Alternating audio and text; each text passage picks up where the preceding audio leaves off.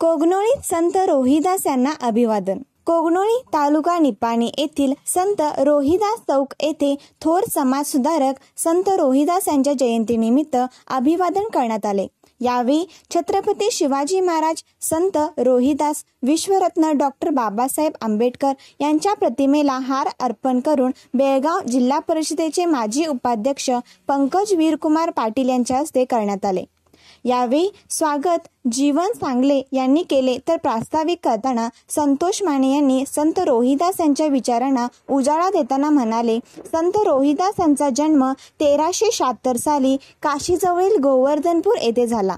त्यांनी आपले सारे आयुष्य समाज प्रबोधन आणि अनिष्ट रूढी परंपरेविरुद्ध खर्ची केले असे म्हणाले.